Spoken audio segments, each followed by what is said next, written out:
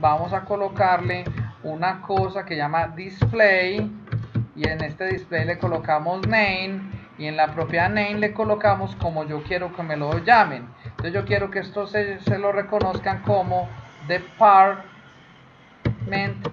name.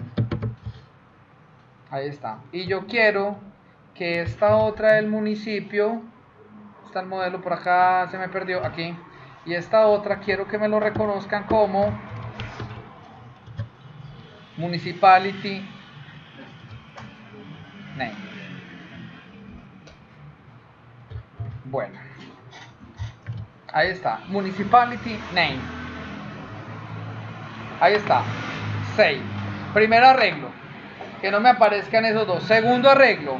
Vámonos al controlador de municipios. Observemos cómo opera el index. Cuando yo le digo db, vamos a cargar, vea como aquí el índice está diferente. El índice es el que está creando una variable que llama municipios. Los municipios es que igual al db municipalities. Si yo le pongo, voy a colocarle aquí algo para explicarles esto. Si yo lo dejo así, voy a comentar esta para que no se me pierda la de abajo. ¿Qué pasa si yo le digo de municipal eh, acá? Voy a modificar esto para que me entiendan ese include que es bien importante.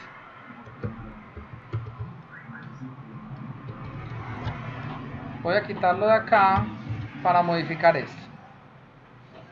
Si yo le digo hasta acá, no se viene en la línea comentariada, si le digo que los municipios es igual a la base de datos en la conexión de municipios de media la lista, me trae todos los municipios, pero no me trae relacionadas las propiedades que son objetos virtuales. Voy a correrlo aquí porque me interesa mucho explicarles esto. ¿Cómo? No trae la, eso, no trae sino el ID del departamento, pero el objeto departamento llega nulo. Entonces cada que yo quiera hacer una consulta y la consulta no solamente me traiga los datos básicos, sino que me traiga todos los datos, entonces tenemos que colocarle el include. Si lo hacemos así, entonces vea, municipalities es un objeto nulo, pero si lo corremos acá, Vea cómo llegó el objeto. Es una lista que tiene cuatro municipios y si observáis cada uno de esos objetos de esa lista, vea cómo llega el objeto department. Ah, no, aquí me hizo quedar mal Steve Madre, aquí sí. Aquí sí dice Antioquia. ¿Por qué lo incluyó? No, si los viene, vea, si lo tiramos acá, ahí lo trajo completo, vea, si lo corro, es que está, Aquí me apareció. Aquí, bueno, puede ser las últimas versiones de Entity Framework, puede que ya lo jalen derecho, pero hasta donde yo tenía conocimiento, este así debe llegar nulo, porque no le estoy colocando el include. Cuando le digo el include, estoy obligando al query que me lo traiga completo. Pero, bueno, señores, como dice el filósofo panameño Rubén Blades, la vida te da sorpresas sorpresas te da la vida. Es preferible que le pongamos, bueno, como le quité el tulis de allá, hay que ponerle el tulis acá. Listo.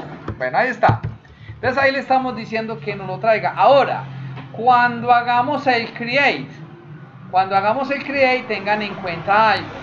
Él está mandando, cuando mandemos el create, él manda la vista, pero tiene que armar el combo. Como el combo se arma y se pasa en un objeto que se llama un viewback. Un viewback es un objetito que nos va a servir para comunicar el controlador con la vista. Cuando yo quiera mostrar algo en el controlador, ¿qué le vamos a hacer? Vamos a mandar. Entonces, en el controlador le estamos mandando una lista de departamentos. Ahora, si yo quiero que esa lista de departamentos esté ordenada alfabéticamente, le podemos decir aquí order by y aquí le vamos a poner departamento y le voy a poner por qué campo lo quiero ordenar. Por el de punto name. Epa me fui por allá estoy copiando aquí. Dname epa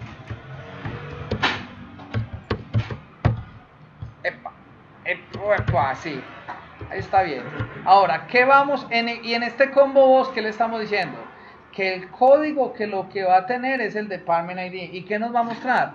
Que nos va a mostrar el name. Si vamos a la vista create, go to view, vemos que él aquí lo reconoce como department ID. Esto no me gusta que lo llame department ID, sino que lo llame es label for, que me le pongan el label department. Este es el nombre del label, no lo confundan con este, que este otro es el nombre como llama el viewback. El viewback le pusimos department ID. Vamos a probar a ver cómo nos queda de nuevo esto. No lo corran. Les recomiendo que nunca corran el proyecto desde una vista. Siempre corran el proyecto desde una clase. Eso le pega a uno mucho susto. Pues no tiene incidencia, pero nos queda más mejor así. Entonces, si nos venimos aquí a municipios, epa, bueno, aquí nos quedó el tales, corramos, quitémoslo. Ahí nos quedó en municipios nos quedan los diferentes municipios. Ah, bueno, creemos otro departamento, uno que esté antes de Valle. Coloquemos, qué sé yo, Sucre. Sucre, eh, Sucre es que es Cincelejo. Entonces, ¿cómo?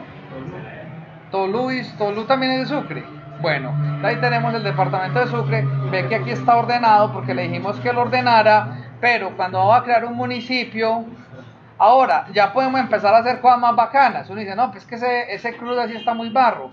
Qué bueno que yo aquí en Details me mostrara los departamentos de Antioquia y yo pudiera adicionarle departamentos, municipios de Antioquia.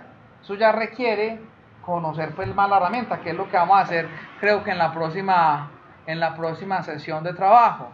Entonces por el momento lo que quiero yo es crear municipios. Si le digo Create New, ya nos aparece Antioquia, Cundinamarca, Sucre, ordenadito. Entonces en Sucre vamos a crear a Tolú. Tolú, San José de Tolú, creo que llama el nombre completo, ¿cierto? Ahí está. ¿Cómo? Santiago de Tolú. Ave María, se creen chilenos.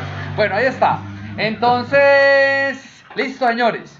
Ahí tenemos ya nuestro maestro de talla. Ahora, si vamos a la base de datos, bueno, esta es la que yo tengo ya, esta es la que yo hice para preparando pues, pero nosotros estamos es trabajando sobre taxes. Si miramos aquí el diagrama de base de datos de nosotros, ah, ¿verdad que borramos? Entonces no hay nada. Venga, empecémoslo a crear de nuevo. Entonces tenemos siempre, empecemos con las tablas básicas que son user, roles y... A ver, ¿cómo es? Estas tres.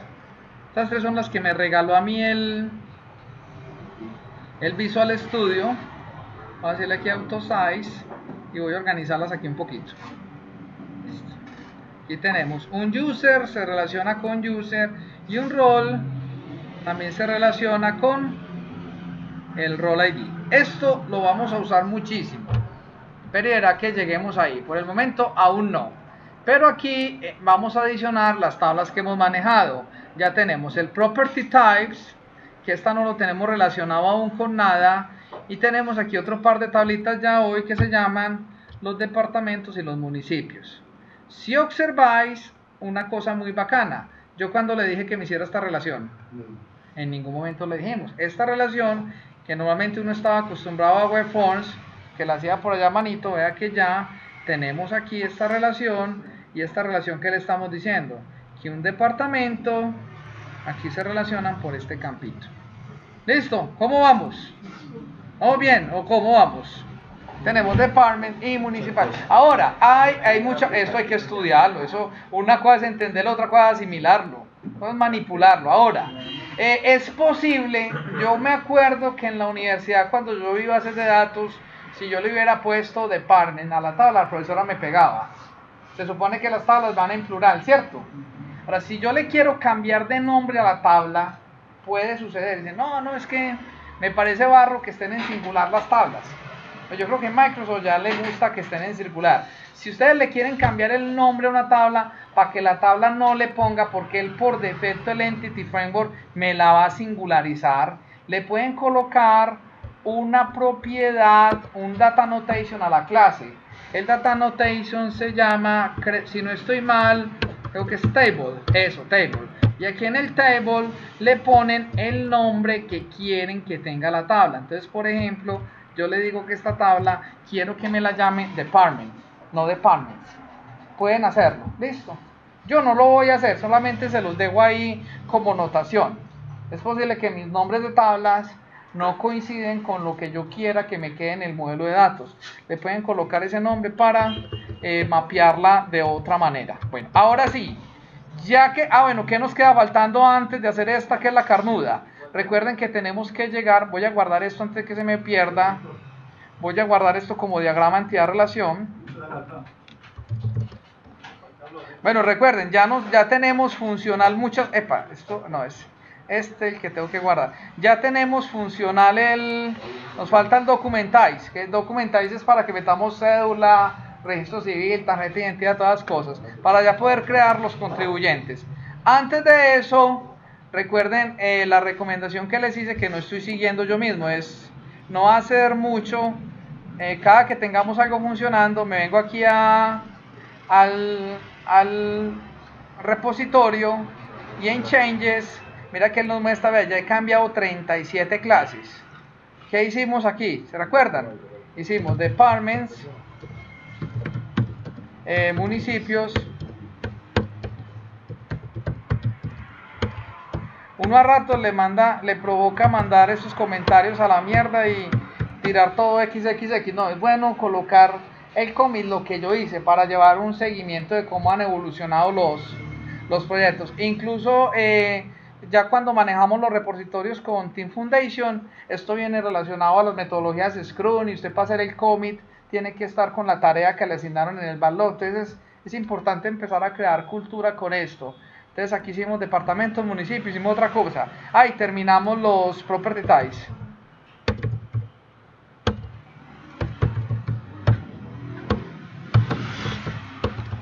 Bueno, ahí vamos.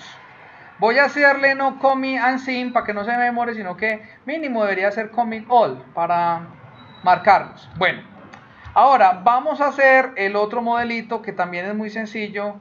Vamos a hacer el de document types. Este es simplemente, este se parece a cuál? Al de departamentos, ¿cierto? Entonces vamos a hacer este de document basado en departamentos. Entonces como no soy bobo, voy a copiarme aquí esto y en modelos que ustedes vieron, vieron muchas tablas y se asustaron, pero realmente con Entity Framework nos rinde mucho. Yo en una tarde puedo hacer 50 cruz de tablas básicas, muerto de la risa, sin, sin necesidad de despeinarme mucho. Entonces vamos a crear aquí una clase nueva. Esta clase la vamos a llamar la clase de document type. Esta clase de document type vamos a marcarle lo clásico que es. Vamos a poner aquí cuál es su index y aquí esto es lo mismo. Epa. Tarán, ¿sí o qué? Vea cómo nos rinde. Entonces a esto le vamos a poner que el índice se llama es document type. Oye, qué pena. sí. ese índice que librería utiliza porque a mí no me parece. Tampoco lo del unit, me aparece todo. Eh, tienes que, por eso le dices control punto y la del KISS te, importa con el System Component Model Data Annotations. Y la del index se te importa con el System Component Model Data Annotation Schema. Listo. Listo, esas son las librerías que necesitamos para ese par de cositas. Bueno, vamos a dejarlo así, Tarancio, que ahí que nos quedó bien ya los... Pero bueno, ah bueno, pero el document type, a mí me gusta colocarle nombre como a, a personas y a digamos ciudades, cosas, pero para documentar son cosas, prefiero colocar la palabra description.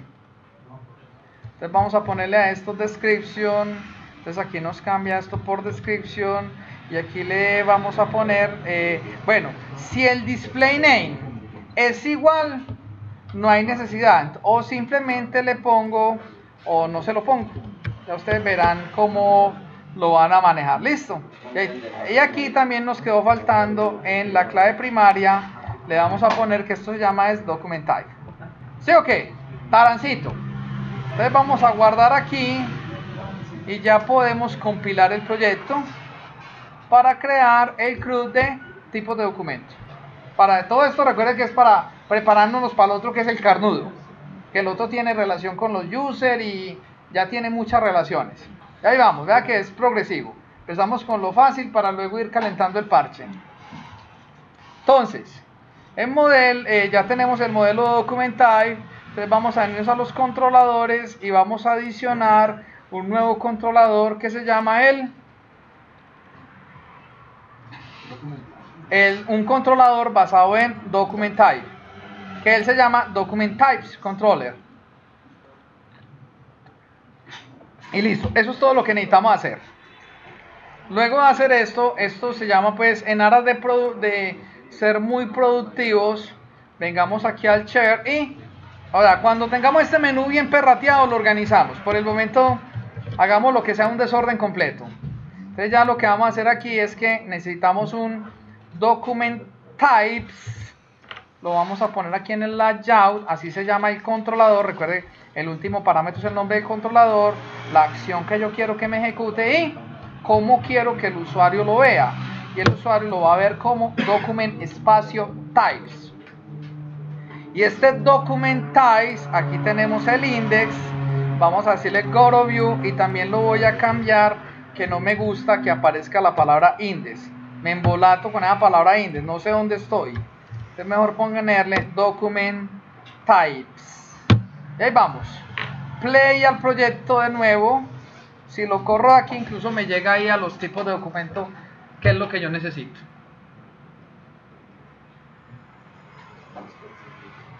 ¿Es avanzamos más rápido así o avanzamos más rápido con WebForms? Eso es productividad. Entonces vea que ya el menú se nos empezó a perratear. Ven, cuando el menú ocupa dos líneas, digo, ah, no me gustó el menú. Sí, o que qué barro un menú así, ¿cierto? Vamos a organizarlo de una vez antes de crear esto. Yo aquí en el pastelito, voy a recurrir a mi pastelito. En el pastelito tengo una cosa que se llama menús y submenús. Aquí, eh, menus and submenús. Y en el menú sus menús eh, tengo un pastelito. Simplemente me voy a copiar esto. De ley a ley. Esto es lo que me arma el submenú.